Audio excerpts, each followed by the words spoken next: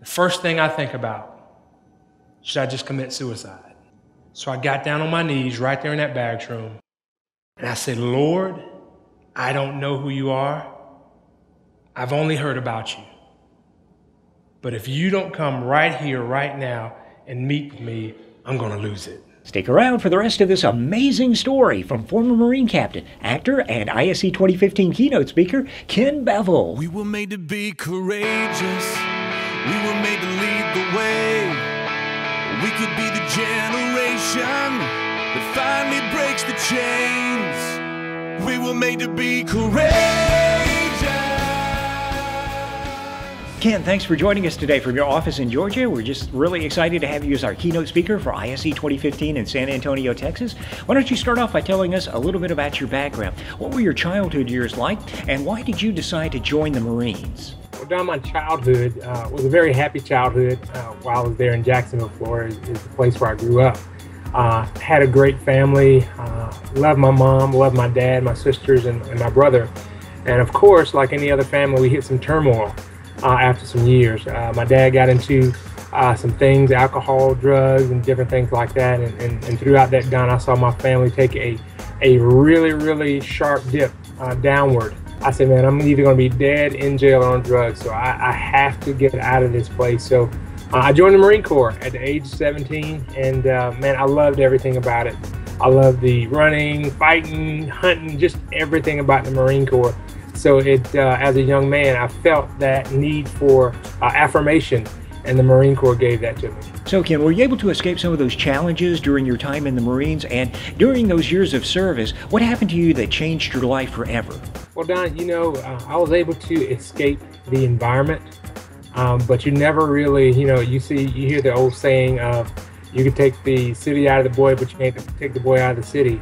And, and that's exactly what happened. Even though I, I, changed environments, my mind was still the same. I was still the same person inside. So when I joined the Marine Corps, although it fulfilled my need for affirmation, I also started getting in a lot of trouble um, because I still had the same attitude and mindset of when I lived back in Jacksonville. Uh, so when I started going through all those things, I hit one really terrible point in my life, and man, that just changed my whole life around. So uh, God really began to do it. That's when I saw God really begin to do a work in my life after that particular incident. Ken, you were firefighter Michael Simmons in the 2008 film Fireproof, and then police officer Nathan Hayes in 2011's Courageous. How are you able to land these great roles, and how much acting experience did you have when you started? Well, I have to tell you, um, besides being a tree in a preschool play, I have never done any acting at all. Uh, this was totally the Lord giving me everything I needed for these films in my wildest dreams, I could have never imagined that I would become something, a part of something this big. Uh, as a matter of fact, when my wife and I moved from California to Albany, Georgia, we heard about a church making movies and we really couldn't believe it. And uh, after some time there, um, the church uh, had just finished Flywheel and then Facing the Giants, and we were coming in on the back end of that, and they were getting ready to film Fireproof. And during one of the services, one of the uh, pastors, Alex Kendrick, uh, wanted to talk to me, and we start talking about it and praying about me auditioning for the role in, in Fireproof. And uh, I cannot tell you that I went in and did a stellar job. The Lord had to walk me through that entire process and just put a lot of great people around me. The person that you see on the screen is none of Ken Bevel. It is the Lord, uh, you know, acting through me uh, to send a message of the gospel to people that are watching.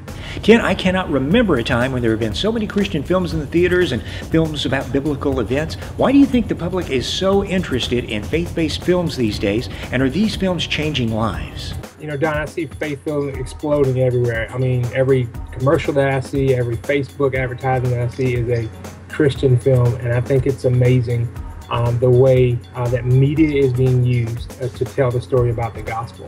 And the reason why we're seeing so much of this is I think God has given us a new platform to share the gospel. And in this method, uh, we are reaching millions and millions of people, not only here in America, but around the world. And I think it's fantastic.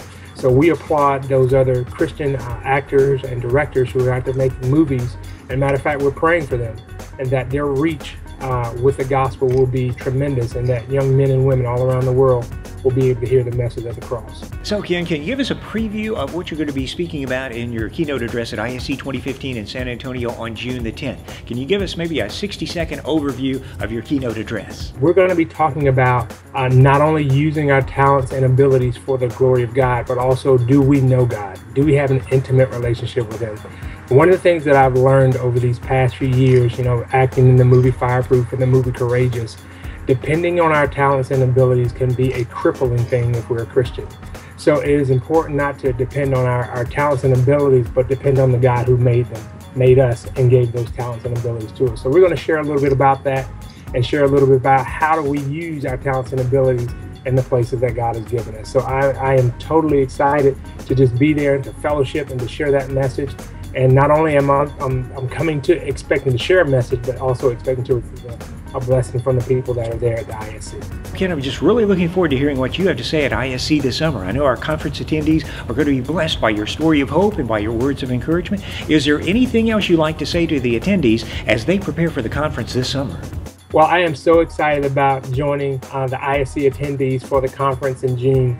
Uh, man, we're going to have a great time. Uh, I want to be able to not only share during our corporate time together, but after that, I want to get out and I want to meet some people. I want to I want you to tell me about your uh, experiences with Arena, but not only that, I would love to fellowship with you, hear more about you, about your church, and about the way God is using you and your talents and abilities.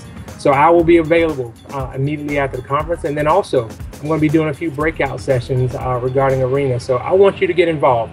if you haven't signed up yet, you need to get online, sign up for the classes and the breakout sessions so we can share together and have a great time at the ISC conference. Ken Bevel's life is a miracle. There's just no other way to explain the radical change that occurred in his life and the powerful way that God is using him now. Do not miss your chance to hear the amazing Ken Bevel story at ISC 2015 in San Antonio, Texas. For more details, just visit the website that you see there on the screen. Now, before we go, here are some of Ken Bevel's most memorable movie moments. One, two, three! Again! One, two, three! One, two, three! One, two, three!